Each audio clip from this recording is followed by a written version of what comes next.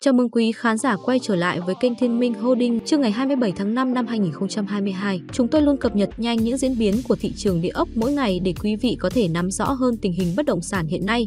Sau đây là những tin chính. Cưỡng chế, tháo dỡ hàng loạt công trình xây dựng trái phép trên bán đảo Sơn Trà.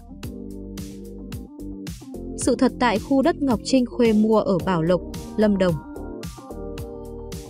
Hà Nội sẽ có 17 cầu vượt bắc qua sông Hồng. Tăng cường hàng chục người giải quyết hồ sơ đất đai ở Cam Lâm. Doanh nhân Trung Quốc xây biệt thự xa hoa hơn 1 tỷ cho chó cưng. Sau đây là nội dung chi tiết. Thưa quý vị, mới đây, gần 70 công trình xây dựng trái phép trên bán đảo Sơn Trà, Đà Nẵng bị cưỡng chế, tháo rỡ theo kết luận thanh tra thành phố. Ông Hoàng Công Thanh, Phó Chủ tịch Ủy ban Nhân dân quận Sơn Trà, Đà Nẵng cho biết chính quyền quận đang phối hợp với các lực lượng liên quan ra quân xử lý, vận động người dân tháo rỡ các công trình xây dựng trái phép cho bán đảo Sơn Trà. Đây là những trường hợp vi phạm xây dựng công trình trái phép được Thanh tra Đà Nẵng vừa công bố.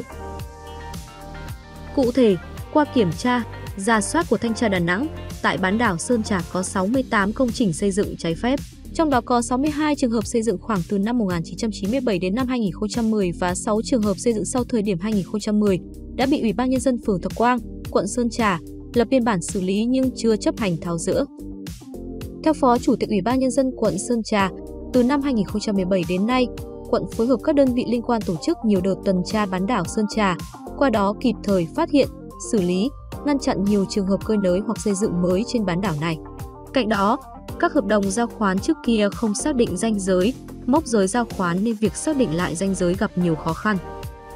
Phó Chủ tịch Hoàng Công Thanh cho biết, ngoài ra, một số hộ tự ý chuyển nhượng trái phép hoặc cho tặng người thân không thông qua các cơ quan có thẩm quyền nên việc xử lý hành chính và áp dụng biện pháp khắc phục hậu quả gặp vướng mắc. Đến nay, lực lượng chức năng của quận đã xử lý, tháo rỡ công trình của 7 trường hợp, trong đó có 3 trường hợp tự tháo rỡ trả lại nguyên trạng. Theo ông Thanh, thời gian đến, Ủy ban nhân dân quận Sơn Trà sẽ tiếp tục chỉ đạo Ủy ban nhân dân phường Thọ Quang đội kiểm tra quy tắc đô thị quận phối hợp hạt kiểm Lâm Liên quận Sơn Trà. Ngũ Hành Sơn vận động các trường hợp còn lại tự tháo rỡ phần xây dựng vi phạm, đồng thời lập biên bản xử lý đối với những hộ không thực hiện. Những ngày qua, mạng xã hội xôn xao khi trang Facebook Ngọc Trinh đăng loạt ảnh cô và bạn bè check-in tại khu đất rất đẹp tại thành phố Bảo Lộc kèm status cả nhà chấm mấy điểm cho khu đất mới của Trinh nè. Một số trang thông tin điện tử và mạng xã hội Facebook cũng đăng nội dung Ngọc Trinh cắm trại ở khu đất mới mua với lều trại, đồi cỏ hoa xinh xắn, view đẹp để ngắm bình minh và hoàng hôn. Tuy nhiên, giữa tuần này, đoàn thanh tra thành phố Bảo Lộc vừa kiểm tra thực trạng khu đất mà người mẫu Ngọc Trinh công bố trên mạng xã hội đã mua để làm homestay, gây xôn xao dư luận hơn 10 ngày qua. Đoàn liên ngành thành phố Bảo Lộc phát hiện nhiều công trình xây dựng không phép. Đoàn kiểm tra liên ngành cũng cho biết, thực trạng khu đất mà người mẫu Ngọc Trinh công bố đã mua ở hẻm 61 đường Blau Xuế, thôn 6, xã Đại Lào. Qua kiểm tra, lực lượng chức năng xác định khu đất này gồm hai thửa với tổng diện tích 1,1 ha do bà NTTN, ngụ tại xã Lộc Châu, thành phố Bảo Lộc, làm chủ sở hữu. Như vậy, lô đất này chỉ có 1,1 ha chứ không phải 11 ha như người mẫu Ngọc Trinh đã dò dỉ trước đó. Mặt khác, cơ quan chức năng ghi nhận trên đất có hai căn nhà xây dựng không phép. Khu đất này vốn là quả đồi trồng cà phê, nhưng chủ đất đã cải tạo không phép thành đất ở và đặt tên La Vita Hill Blau. Nhiều vị trí trong khu đất đã bị san gạt, làm đường thảm nhựa cho ô tô chạy. Trên khu đất này còn có nhiều hạng mục không phép khác như cống thoát, đường dẫn điện, bờ kè. Hầu hết toàn bộ diện tích đã được phủ xanh bằng thảm cỏ và hoa. Dọc đường đi và khu nhà ở đã có cột đèn thắp sáng, trang trí. Bên trong hai căn nhà có trang thiết bị tiện nghi như một căn hộ và các dụng cụ phục vụ việc tổ chức tiệc ngoài trời. Thế nhưng, khi làm việc với các phòng ban chức năng, bà N cho biết các căn nhà là nơi chứa nông cụ và để gia đình lui tới vui chơi. Mặc dù không đưa ra chứng cứ nhưng có lúc bà N khẳng định ngày 3 tháng 6 sẽ công chứng sang tên khu đất này cho quản lý của Ngọc Trinh, khi khác lại khẳng định người mẫu Ngọc Trinh đã đặt cọc tiền mua đất cách đây gần 2 tháng. Đoàn kiểm tra của Ủy ban Nhân dân thành phố Bảo Lộc đã lập biên bản ghi nhận hiện trạng, sau khi đối chiếu với dữ liệu địa chính sẽ đề xuất tháo rỡ và hoàn nguyên hiện trạng theo quy định.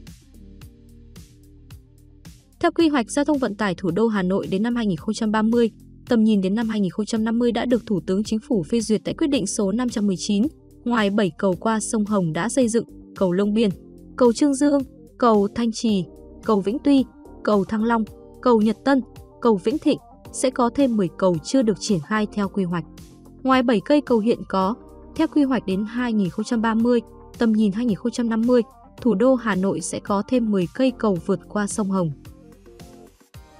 Theo Ban Quản lý Đầu tư Công trình Giao thông Hà Nội, trong kế hoạch đầu tư công trung hạn giai đoạn 2021-2025, thành phố dự kiến xây dựng cầu Vĩnh Tuy, giai đoạn 2, cầu Thượng Cát và hai đầu cầu, cầu Vân Phúc, cầu Hồng Hà, cầu Mỹ Sở. Trong số này, cầu Vĩnh Tuy, giai đoạn 2 đã được khởi công từ ngày 9 tháng 1 năm 2021 với tổng mức đầu tư hơn 2.500 tỷ đồng đang được thi công và dự kiến hoàn thành trong năm 2023. Dự án xây dựng cầu Thượng Cát và đường hai đầu cầu đã được Sở Giao thông Vận tải Hà Nội lập báo cáo nghiên cứu tiền khả thi, trình Sở Kế hoạch và Đầu tư thẩm định với tổng mức đầu tư hơn 9,4 nghìn tỷ đồng. Hiện đã được Sở Kế hoạch và Đầu tư lấy ý kiến thẩm định về chủ trương đầu tư. Dự án xây dựng cầu Vân Phúc được Ủy ban nhân dân thành phố Hà Nội giao ban quản lý dự án đầu tư xây dựng công trình dân dụng và công nghiệp đang triển khai thực hiện theo quy định. Đối với dự án xây dựng cầu Hồng Hà, cầu Mễ Sở đều thuộc dự án đầu tư xây dựng tuyến đường vành đai 4. Dự án đã được thành phố Hà Nội trình chính phủ chủ trương đầu tư. Chính phủ đã thẩm định, chuẩn bị báo cáo Quốc hội xem xét thông qua tại kỳ họp Quốc hội khóa 15. Các cầu đang được giao nghiên cứu đầu tư theo hình thức PPP gồm Cầu Tứ Liên đã được Ủy ban nhân dân thành phố Hà Nội phê duyệt phương án thiết kế kiến trúc từ ngày 30 tháng 3 năm 2020. Cầu Trần Hưng Đạo đã có kết quả thí tuyển phương án kiến trúc và hoàn thành công tác trưng bày, triển lãm. Sở Kế hoạch Kiến trúc đang báo cáo Ban cán sự Đảng Ủy ban nhân dân thành phố Hà Nội xin ý kiến của Ban Thường vụ Thành ủy về phương án kiến trúc cầu. Đối với ba cầu còn lại gồm cầu Thăng Long mới, cầu Ngọc Hồi, cầu Phú Xuyên, Ban Quản lý Đầu tư Công trình Giao thông Hà Nội cho biết hiện nay chưa có văn bản giao nhiệm vụ cho ban này nên chưa có cơ sở triển khai thực hiện. Nối tiếp là thông tin mới đây, Sở Tài nguyên Môi trường Khánh Hòa tăng cường 24 người vào Cam Lâm để hỗ trợ chi nhánh văn phòng đất đai làm các thủ tục cho người dân. Sở cho biết vừa có báo cáo Ủy ban nhân dân tỉnh Khánh Hòa về xử lý tình trạng người dân mắc mùng trước cổng văn phòng chi nhánh đất đai huyện Cam Lâm mà báo đài phản ánh việc người dân mắc mùng ngủ chờ làm hồ sơ trước văn phòng đất đai ở Cam Lâm. Theo đó, ngày 29 tháng 4, Ủy ban nhân dân tỉnh Khánh Hòa có văn bản chỉ đạo Sở Tài nguyên và Môi trường kiểm tra, xử lý việc tiếp nhận, giải quyết thủ tục hành chính đất đai tại huyện Cam Lâm. Theo Sở Tài nguyên và Môi trường Khánh Hòa, ngay khi nhận được những thông tin trên, đơn vị đã yêu cầu văn phòng đăng ký đất đai Khánh Hòa khẩn trương kiểm tra, xác định rõ nguyên nhân để sớm có biện pháp xử lý, khắc phục tình trạng này. Theo thống kê trên phần mềm một cửa điện tử, từ ngày 1 tháng 1 đến ngày 26 tháng 4, chi nhánh văn phòng đăng ký đất đai tại huyện Cam Lâm đã tiếp nhận 17.013 hồ sơ đăng ký biến động và 5.461 hồ sơ đo đạc tách thửa. Số lượng hồ sơ tiếp nhận nêu trên đã tăng cao hơn so với số lượng hồ sơ tiếp nhận cùng kỳ năm ngoái là 155% đối với hồ sơ biến động và 257% đối với hồ sơ đo đạc, tách thửa. Cá biệt, trong tháng 3 và tháng 4 năm 2022, Văn phòng chi nhánh đất đai Cam Lâm đã tiếp nhận, giải quyết số lượng hồ sơ cao gấp 2, thậm chí gấp 3 lần so với lượng hồ sơ của những tháng trước đó. Cũng theo Sở Tài nguyên và Môi trường Khánh Hòa, để giải quyết khó khăn đơn vị đã chỉ đạo văn phòng đăng ký đất đai Khánh Hòa tăng cường 24 người cùng máy móc, trang thiết bị cho chi nhánh Cam Lâm. Về giải pháp lâu dài, Sở Tài nguyên và Môi trường Khánh Hòa cho biết đã kiến nghị Ủy ban nhân dân tỉnh chỉ đạo Ủy ban nhân dân huyện Cam Lâm hướng dẫn hỗ trợ người dân nộp hồ sơ trực tuyến đã được cung cấp trên cổng dịch vụ công của tỉnh qua dịch vụ bưu chính công ích, thanh toán trực tuyến để được phục vụ tốt nhất. Để không xảy ra tình huống tương tự, Sở Nội vụ Khánh Hòa đề nghị Sở Tài nguyên và Môi trường giả soát, dự báo và hướng dẫn các huyện, thị xã, thành phố chuẩn bị các giải pháp để ứng phó, tránh bị động, gây bức xúc trong dư luận. Ở phần cuối chúng ta cùng đến với một thông tin thú vị khi một đại gia ở tỉnh Giang Tô, Trung Quốc đã chi 340.000 nhân dân tệ, gần 1,2 tỷ đồng, xây biệt thự, công viên giải trí cho hơn 10 chú chó cưng của mình. Người đàn ông họ Du này sống tại tỉnh Giang Tô, miền đông Trung Quốc, đã xây biệt thự xa hoa cho chó cưng trong suốt 3 năm qua và lấy đó làm niềm vui trong cuộc sống cũng như anh không nghĩ tới số tiền mình đã chi nhiều đến như vậy.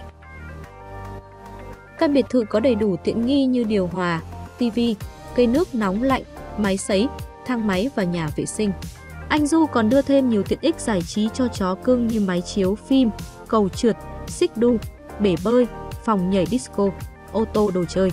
Được biết, người đàn ông này chính là doanh nhân trong ngành thủy sản. Du phủ nhận thông tin lan truyền trên mạng Internet rằng anh là con trai của một nhà tài phiệt và giàu có nhờ tài sản thừa kế, anh Du cho biết lý do anh đầu tư số tiền khủng xây dựng biệt thự cho chó cưng là do anh rất yêu chó. Từ bé đã mơ ước xây dựng một chiếc chuồng chó xa xỉ cho thú cưng. Anh cho biết thêm, tôi không mua túi sách, quần áo đắt tiền cho bản thân mà chỉ tiêu tiền cho những cuốn cưng. Tuy nhiên, còn một lý do khác khiến anh có động lực để xây biệt thự cho chó đó là vì cư dân mạng. Anh Du, người hiện có 8,5 triệu người theo dõi trên nền tảng chia sẻ video Douyin, cho biết theo thiết kế ban đầu, căn nhà của đàn thú cưng có thiết kế đơn giản hơn rất nhiều. Sau khi nhận phải áp lực từ những người theo dõi trên mạng, anh đã có hơn 200 thay đổi trong dự án xây biệt thự cho chó cưng. Năm 2009, sau khi xây một củi chó sơ sài và đăng hình lên mạng xã hội và bị chê, thế là để chiều lòng người hâm mộ, anh Du lập tức thêm đôi câu đối hai bên cửa chuồng.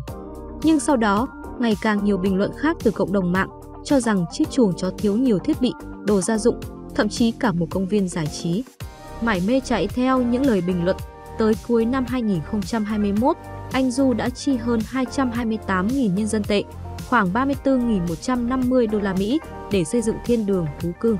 Chưa dừng lại, vào đầu năm nay, doanh nhân này còn đầu tư thêm 100.000 nhân dân tệ, 15.000 đô la Mỹ để biến khu đất rộng 5.000 m2 bên cạnh hồ nước thành công viên giải trí có bể bơi, tàu lượn mini và xe lửa nhỏ để thú cưng vui chơi.